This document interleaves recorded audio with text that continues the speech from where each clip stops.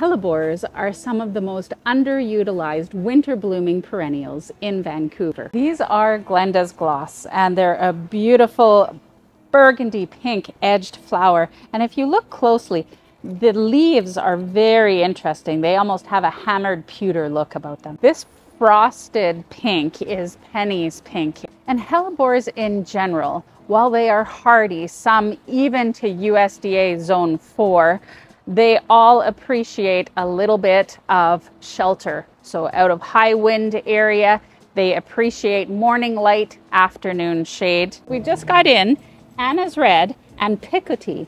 After a hard freeze, you may find your hellebores, if they've emerged, lying flat. That's okay. When they start to thaw out, just make sure that there is enough moisture in the ground so that they can perk back up because it takes a lot of moisture to go flat and stand back up again. This is Jacob, and this is Dorothy's Dawn. Now, what I like to do is once we're out of the real risk of heavy, heavy freezes, I'll go and I'll clean up the leaves. So even though they're evergreen, some of the leaves look pretty ugly after winter. So I will clip some of the leaves and allow the flowers to be more visible. Hellebores are such an easy care perennial, and with the right mix, you can have blooms from December right through beyond April.